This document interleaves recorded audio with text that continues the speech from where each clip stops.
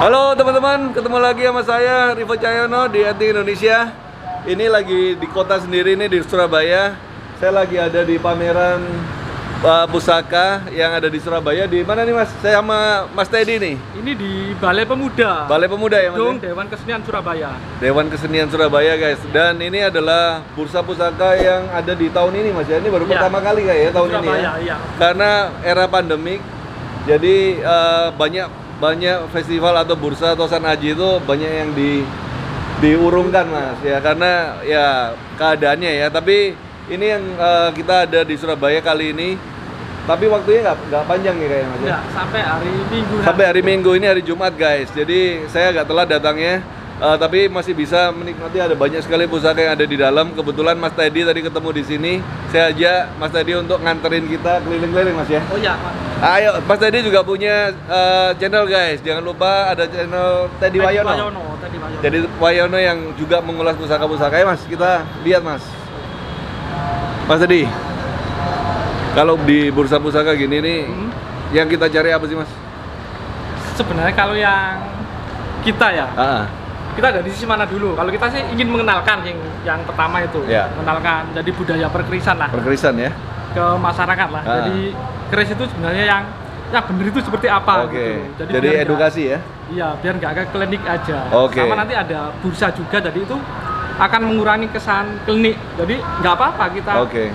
jual beli atau mewaharkan itu nggak apa-apa. Jadi istilahnya bursa itu juga membantu teman-teman yang mencari pusaka juga Iya. bisa mendapatkan dengan lebih mudah, Mas ya. Iya.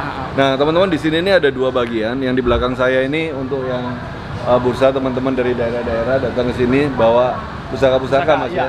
Mereka ada booth-booth, mereka akan ada uh, beberapa pusaka yang ditawarkan di sini. Tapi yang di dalam sini ada juga ini yang untuk condro ajinya, Mas ya. Iya, jadi teman-teman dari dari beberapa kolektor juga. Dari kolektor-kolektor ada di sini. Nah, kita akan buat video kita ke dalam dulu, Mas. ya. Oh ya, Kita ke dalam ke dalam dulu karena di sini ada banyak sekali pusaka keren dan kita rasanya harus isi buku tamu dulu, Mas. oh iya. Oke, guys, kita isi buku tamu dulu, guys. Geser. Oke. Nomor berapa ini? 64. Etnik Indonesia.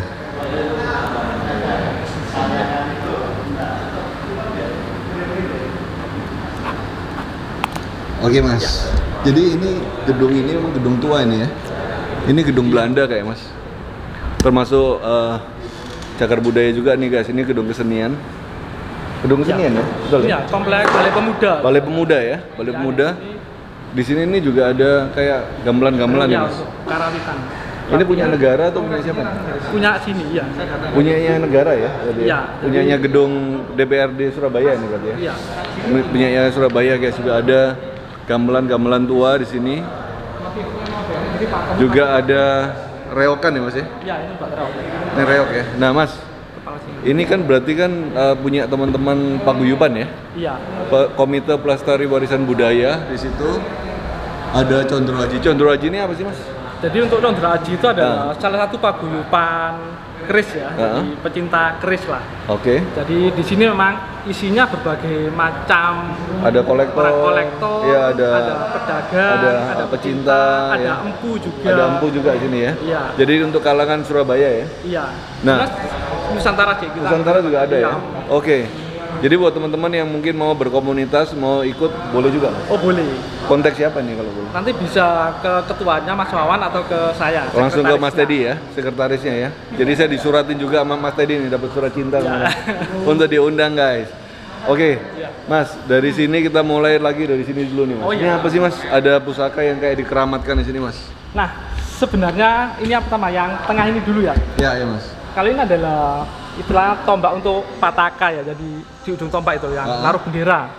Dan ini ada simbolnya jadi Condro Aji, paguyuban Condro Aji. simbol paguyubannya ya. Iya. Wah ini dari emas. itu dari Mas? emas, Wah, dari emas. mantap sekali nih. Dari emas. Nah, ap- itu. apa tujuannya buat pusaka istilahnya untuk paguyuban ini, Mas? Jadi ya sama sebenarnya kayak untuk pataka yang ditaruh di tombak. Jadi lambang kebesaran lah untuk ya bendera lah. Sama Oke. kalau zaman dulu kan Majapahit punya kayak apa Dwijanareswara yang Baruna kayak seperti itulah. Jadi istilahnya Intinya. ini uh, dibuat sebagai ageman untuk ini ya, untuk Paguyuban. paguyubannya ya. Iya. Dan ini juga punya makna ini, Mas ya. Iya. Ah, Ini pamornya pamor tambal nih. Pamor tambal ya bener, pamor tambal. Pamor tambal besinya wulung, Mm-mm, ya. bener. Kinatanya juga rapi banget. Iya. Siapa empu siapa yang bikin ini, Mas? Kenapa? Empu siapa Ya yang itu bikin? salah satu kalau namanya saya lupa ya. Jadi Mas Oke. Wan, ah, ah, ah. Tapi empu era sekarang ya? era sekarang. Oke. Jadi ah, dari Jawa Timur juga kok. Dari Jawa Timur ya. Nah. Oke Mas, kalau ada di kiri kanan saya ini ada dua keris nih Mas ya. Satu kayaknya dapuran Sepang. Sepang, ah. Ah, ah. cuman ada apa? Ukiran, kinata naga ya, naga kamulian ini istilahnya.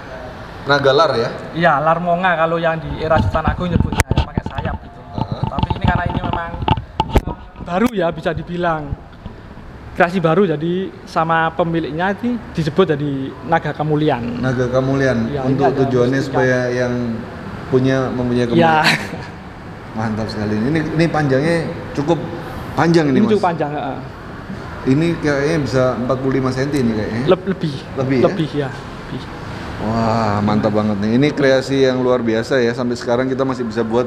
Iya, Pusaka jadi ini baru juga luar sama, biasa ya. Sama yang ini juga baru. Nah, ini kayak gini nih apa nih, Mas? Ini yang kemarin saya lihat di apa videonya ini ya. Pak Bambang Pak nih. Bambang ya. Ini naga yin yang atau apa kata ini? Iya, istilah yin yang ya. Jadi Yin yang itu keseimbangan. eh, keseimbangan ya. Iya, keseimbangan. Mantap keseimbangan. sekali ini. Ini keren banget nih guys. Emas sama perak juga. Ini emas perak, jadi kalau bahasanya siliasi ya. Iya, bener. Binata siliasi. Silase. Dari emas murni juga dari perak. Perak. Mantap mas. Oke mas, kita lanjut mas. Kita di sini nih ada apa nih mas?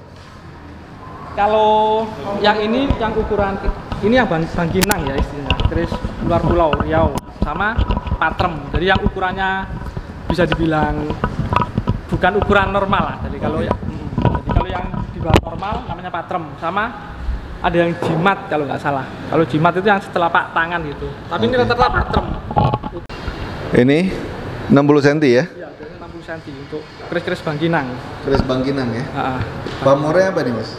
Kalau ini kebetulan memang belum terlalu terlihat ya kalau dilihat jadi nggak kelihatan. ya? Iya, seperti wulung itu. Kayak bulung ya. Dari Sulawesi ya? Sumatera, Bangkinang itu daerah Riau. Riau ya? Riau. Oh, iya, iya, iya. Riau. Mantap, mantap. Riau. Oke mas, apalagi nih mas? Oh ini junjung derajat nih mas. Iya benar Junjung derajat. Ini masuk apa ini? Tuban nggak salah. Ini ya ini yang jelas ini Jawa Timur ya karena Ini Jawa Timur ya? agak maju. Terus kalau dari materinya dan garamnya kemungkinan besar memang Tuban. Ah, ah, Dari ah. Tuban. Ciri khasnya lebih ke arah Tuban. Iya, ke arah pasti Tuban. Jawa Timur. Jawa Timur ya. Karena Pamornya junjung derajat. Junjung derajat. Mm. Seperti itu.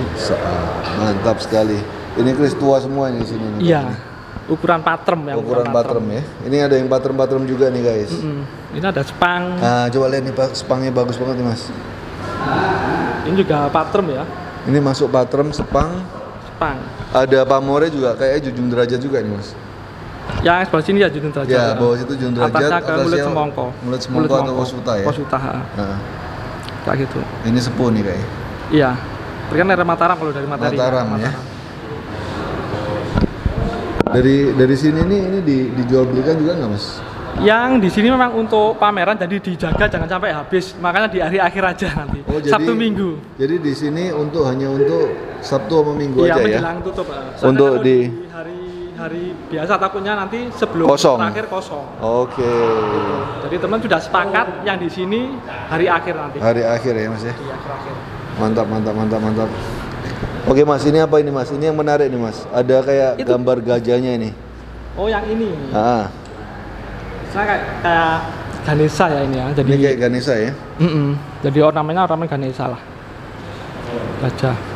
Ada kalau kalau uh, looknya Lo- kayak gini nih apa namanya ini Mas? Jadi kalau yang di atas, Ah, ini kan lo 5 ya di atasnya. ya? lo lima. ah. kalau kan lo lima tapi agak di atas tuh istilah Roro Sinduo gitu loh. Roro, Sinduo. Roro Sinduo. Ah, ah. Kalau yang lo-nya agak di bawah terus at- paling atas Damar lurus. Oh. Enggak, kalau yang lurus itu Ah. yang Megantoro. Ah, ini yang Megantoro tadi ya. Di sini tadi ada nggak? Ini ada ini. Megantoro. Ini bukan ini. Ini Megantoro, Ya, lo lo ini nya kan- Megantoro ini ini, Megantoro ah, ya. ini colok Megantoro, ini Roro Sinduo. Apa artinya Mas Roro Kenapa? Sinduo ini? Se- sebenarnya Atikus jadi istilahnya kan nama jadi seorang apa ya cewek kalau itu sendiri ya ke apa ya kasih sayang orang gue pengasihan juga sih. tapi- Oke. Roro itu kan perempuan ya. Perempuan iya. Sinduo Jadi itu ke- nama empunya atau apa? bukan jadi ya sebenarnya kayak nama perempuan itu tadi terusannya Oke. aja. Masih banyak yang kita perlu pelajarin nih mas ya. Iya. Kalau pusaka ini ya. Ada Ganesanya ini. Mantap mantap. Oke. Oke mas, kita lanjut lagi nih mas ke sini nih. Ini mas, ini masuk Bengkinang juga. Bang Kinang juga. Waduh keren banget nih Bengkinang Bengkinang ini ya. juga, iya. Ini tapi pamornya pamor ini bubut ada- ini kayaknya. Iya, gubet atau nyebut buntel mayit Buntel atau mayit. selendang gitu. Oh. Pamor selendang. Jadi Bang Kinang juga. Bengkinang juga dari Riau. Iya, ini sekitar 60 cm juga. 60 cm ya. Iya. Sekitar Oke. 60 cm. Ayo mas, kita lanjut sini mas. Wah ini menarik ini mas. Ini apa ini? Kalau yang mana? Ini. Ini. Iya. Kalau ini saya juga kurang tahu bentuknya kayak kukri ya. Kayak kukri yang Tibet ya? heeh. Apa ini Cuma bukan- kalau tapi Jawa tempat lipat. Bukan bentukan baru ya. Kenapa? Makan ini- kalau ini saya kurang paham Masih juga. ada pertanyaan lah kalau ini. Iya. Karena kita Kalau materinya memang Materi lama. iya. Cuma bentukannya yang bentukannya akan jadi diskusi ya. iya, karena saya sendiri di Jawa sendiri pakem yang seperti ini belum. Iya, iya. Belum kita temuin di temuan-temuan suami juga. Sebelumnya ada. belum lihat. Iya. Mantap. Ah ini mas, apa ini mas? Nah, ini, Ini kalau ini sekali ini. yang ini dulu ya. Ya ini dulu nih. Nah, ini salah satu karya Empu Haryo. Jadi ini yang sebenarnya nggak nggak bisa karatan karena materinya sebagian besar titanium yang dari stick golf, Ah, ah, ah. stick golf itu. Jadi, Jadi nggak- ini eh, buatan baru Empu Iya, Haryo. Empu Haryo ini tahun 2009 pembuatannya. Besalen Condro Aji. Wah, BCA Condro itu Besalen Condro Aji. BCA itu besaran Condro Condro Aji Aji, ya. ya. Oh, Jadi, tapi buatannya rapat banget nih ya Pak Mori Mas ya. ya, jadi ini Jolo Sutro ya. Jolo Sutro. Jadi memang belum pernah ada yang bikin juga ya untuk pamor ini. Ini pamor jadi Baru pertama. Pamor baru ini kayaknya. Pamor baru ya. Jadi ciptaan beliau Mantap. kayak gitu. Ini materinya yang istimewa di materi ini. Materinya istimewa ya. Iya. Lah ini bisa berminyak terus ini di Enggak ini tadi atau diapain? ini tadi barusan di Diminyain? minyain, heeh. Oke. diminyain. Diminyain. Oke, mantap guys. Ini keren banget nih. Kita perlu buat keris yang baru seperti ini nih. Iya. Itu ada empunya nanti mungkin bisa. Ada empunya yang bikin, Mas? Iya, di sini nanti Waduh. bisa ngobrol-ngobrol langsung. Mantap. Atau langsung sekarang nggak apa-apa. Iya, ayo ayo ayo. Pasti yang bersangkutan. Ayo, Bang, ayo, Bang. Siapa yang bertanggung jawab buat ini nih? mas, siapa namanya Mas? Aryo Herlambang. Mas Aryo ya. Mas, waktu buat eh, pusaka ini apa yang dipikiran nih, Mas? Pada waktu ini memang uh, sangat agak kontroversial, anu, Kontroversial. kontroversial karena materinya saya saya pakai sticknya golf Oke. sebagai pamornya, media pamornya. Biasanya apa orang lain biasanya? Kebanyakan umumnya nikel. Nikel ya. Ya. Kalau ini kenapa kok punya ide pakai sticknya golf nih? Karena stick golf kan tidak bisa berkarat. Wah, iya iya iya. iya. Nggak ada ceritanya stick golf berkarat kan Benar, gitu. benar, Jadi saya- benar, saya benar. pakai kualitasnya. Kualitas Kualitasnya. dari stick golf itu Dan ya. otomatis pada waktu penempaan tadi otomatis tapen dan seloroknya ikut jadi keras. Wah, Ini kadar. ST-nya 75 persen. 75 persen ya. Jadi kalau drum jebol. Ya ya ya ya ya ya. Nah ini bisa buat pamor sampai sebagus ini nih. Pamor apa ini namanya nih? Ini saya namakan Jolo Sutro. Ini saya pernah lihat seperti ini dulu eh, ada keris Hindu tapi sudah rusak. Saya lihat eh, ini kamar ini perlu saya tiru. Oh iya iya iya. Jadi biar nggak punah ya. Iya, Jadi pernah ada memang pamor Jolo Sutro ini Iya. di temuan keris Hindu. iya. Terus bentuknya yang kalau makoro ini yang gajah birai saya stilir memang saya buat primitif karena Ah. Kalau saya bikin detail tidak kelihatan karena pamor Pamore nutupi. Iya, Ya, kalau nutupi. keleng saya bikin detail. Ah, oke. Kalau makoro itu dulu ada pada era Hindu sudah keluar Kediri. Kediri ya. Artefaknya saya ada soalnya yang Oke, kuno. mantap mantap. Terus ada yang tanya, kenapa kok tengahnya lem, lemu ngisore cili? Nah, kenapa tuh Mas? Ular itu kalau udah kenyang, nggak butuh apa-apa. Oh, gitu ya. Jadi ular lek kenyang, tengahnya ini iya, belendung. Endung, nggak butuh apa, turut toh. Oh gitu ya. Jadi supaya Ayam yang punya itu Iya, makmur. tentrem, iya. Tentrem. Masuk akal. mas Aryo. Iya. Kalau misalnya saya pengen buat nih Mas, Iya. buat ageman pribadi nih Mas. Pusaka buatan Bu Aryo nih.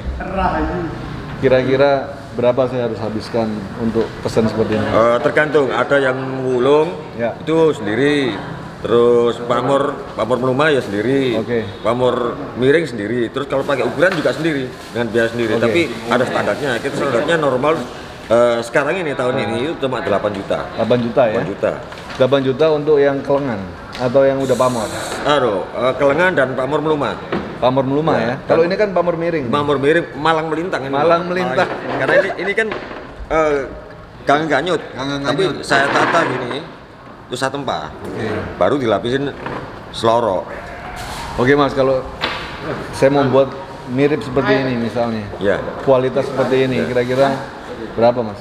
ya kurang lebih ya 15 lah 15 juta ya? tapi waktunya harus Berapa sabar lama? Berapa lama kira-kira? 6 bulan minimal Enam itu bulan bisa ya? lebih ya Oke dan guys, pembayaran pun masih mudah karena apa Eh, separuh dibayar depan se- separuh lagi setelah jadi setelah jadi ya.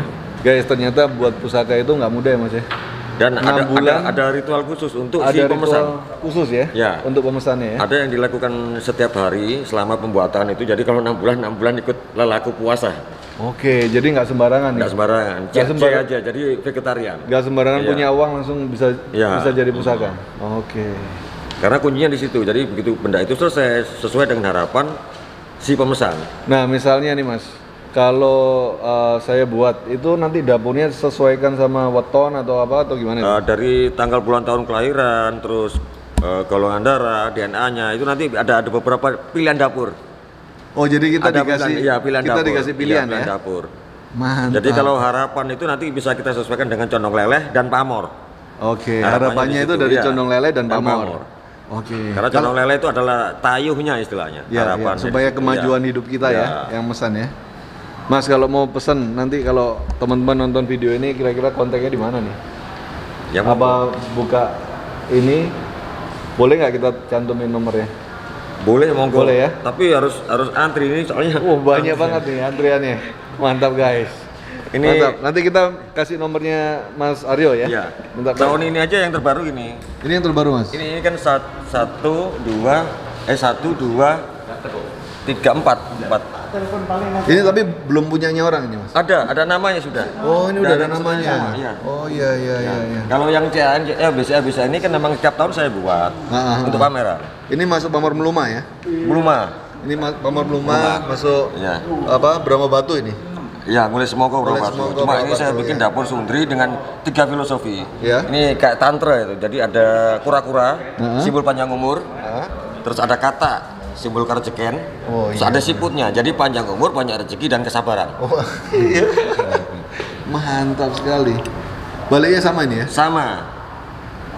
Itu rencana saya buat memang untuk tujuan eh, bulan Agustus kemarin mau ada pameran di Bali. Ternyata nggak jadi kondisi Covid kan gitu. Oke. Ini yang terbaru, yang barusan bulan kemarin selesai. Ini baru ya, baru, baru 28 jadi ya? Oktober kemarin ini selesai. Belakang masih banyak. Masih banyak ini Iya. ya. Mas, kalau kita bicara tentang pusaka-pusaka yang dibuat era sekarang ini, apa tuanya itu sama dengan pusaka era dulu, Mas? Secara secara spiritualnya. Keris yang menjamin masa depan adalah keris baru. Kalau nggak gitu kenerok, kenapa pesan keris baru? Wah. Dan kanjeng Kiai Singklat pun itu yang hilang dicari ke mana-mana juga keris baru. Keris baru. Karena sesuai dengan harapan barunya. Ah. Jadi kalau ngomong keris yang baru nggak- nggak ada apa-apanya dengan keris yang lama, saya bisa buktikan. Oke. Jadi keris baru itu sama pentingnya dengan keris sepuh ya? Karena Secara- keris itu terjadinya kan made to order, dibuat karena pesanan. Pesanannya. Benar benar benar. Dan keris itu juga pemilih karena apa ya secara wuku, weton, apalagi sekarang ada golongan darah, DNA dan sebagainya. Tidak semua orang bisa. Kalau Nggak nggak sama secara bisa secara eh, energinya. energinya tidak sama, ya tidak berfungsi. Ah. Makanya diarani keris itu pemilih kan gitu. Oh iya iya. Bilang iya, pemilih iya. kan itu sebabnya. Mantap. Jadi kalau misalnya orang mau serius untuk mendalami pusaka, harusnya mempunyai pusaka secara pribadi yang dipesan secara Benar. pribadi ya. Itu. Itu pakemnya Ya. Terus Pakemnya ya. keris atau pusaka apa pun yang menjamin masa depan adalah yang ada simbolnya. Misalnya kayak gimana tuh yang ada simbolnya? Minimal kembang kacang. Kembang kacang tiap orang harus beda-beda. Minimal kembang kacang. Kalau misalkan ganik polos, kita kasih simbol seperti ini. Hah? Ini ada simbolnya bintulu. Mana itu pintu lu? Ini tengahnya. Oh. Ya, cuma karena pamornya nggak kelihatan kan. Jadi ini Ya. kayak buto mata satu ini ya. Ya. Terus ini juga ada simbolnya karena dia lurus kan.